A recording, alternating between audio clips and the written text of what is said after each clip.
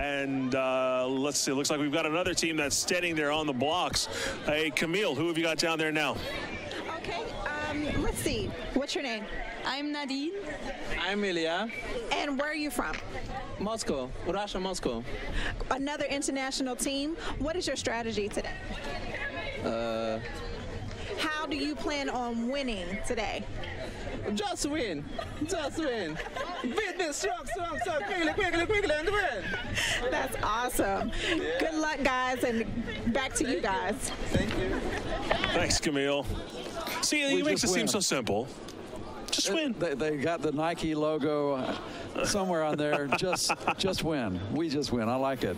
So they're uh, they're definitely going to be in store for an interesting experience. Yeah, this is uh, Their once design again. looks go- pretty good. The tires uh, look fairly robust, and they look like they're ready for um, uh, pretty good speed with the with the drive system there. the dust abatement vehicle uh, devices rather. All right, let's hear the last safety checks.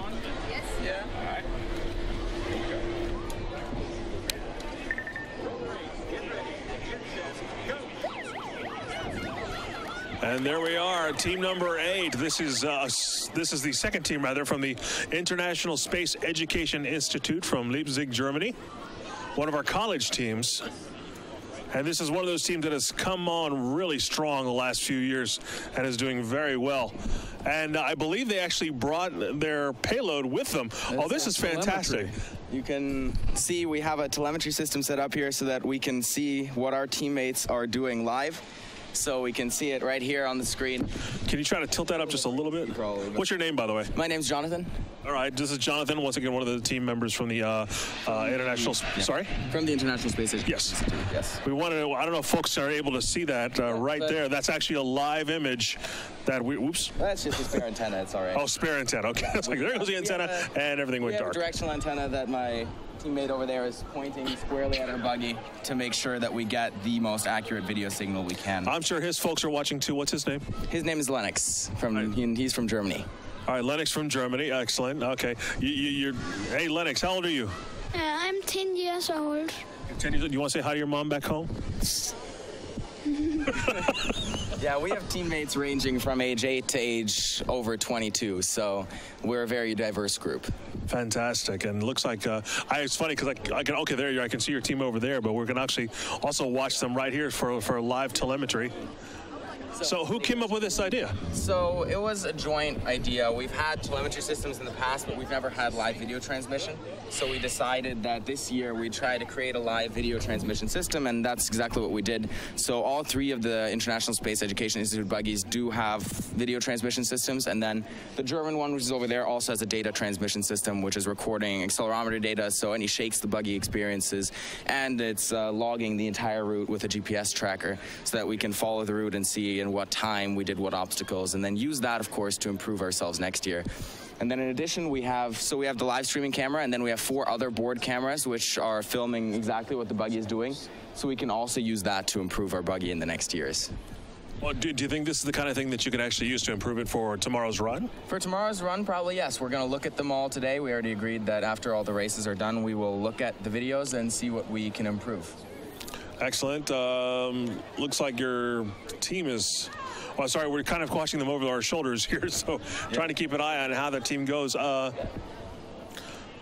Not sure what happened there, but whatever it is, we'll fix it and be right back here tomorrow. I have no doubt. Uh, now, is, is this a design that you guys inherited from a previous This year? is a design that we have been improving on for the past nine years. Oh, wow. So for the entire course that we've been attending this event, we've been improving it, and every year we've been adjusting it to fit the new regulations and the new challenges that we have to face.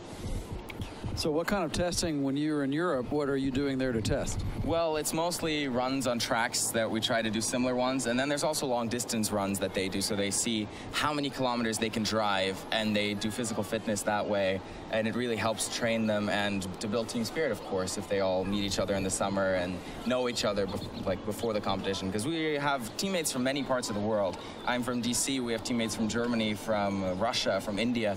So they can't always meet. So it helps to build team spirit that they meet in the summers then and train. When you said DC, you actually Washington DC? Yeah, Washington D.C. I'm from Washington D.C. Oh, so okay, so, oh no, no, it's, it's we've we've you know we've met the Yeah. international team and talked to them in years before. We've never actually. I don't. It's funny. We think it is in fact an international team, but we've is. never very had an team. American on the international team. International team. Yeah. Any more questions for us? No, I was just I was going to see if you wanted to chime in. Did you build anything? Yeah, he's responsible for all our board cams, making sure they're charged, and that we get good video, and so that we can also analyze our race afterwards. Fantastic. Nice work. Okay. Well, thank you. Thanks again, Jonathan. Good luck. Once again, this is the team from the International Space Education Institute in Leipzig, Germany. Now they're just uh, looks like they may just try to go ahead and muscle through. Looks like they may have had a drivetrain failure of some kind. Well, and that is uh, a tribute to the difficulty of the course. We were talking earlier about the Marshall Space Flight Center facilities uh, that came out and helped Dr. Frank Six with the implementation of the course, and they have indeed, I think, uh, topped themselves in terms of difficulty and rigor. Uh, these, the chassis, the drivetrains, everything is getting put to a big test. This team has definitely been one of those ones you'd have to watch because they are threatening to take the top spot every year. In fact, uh, let's see, in 2012, they won the best performance by an international team. Uh, in 2011, they were in fifth place, coming in with a final run time of 3 minutes and 49 seconds. Still an excellent time.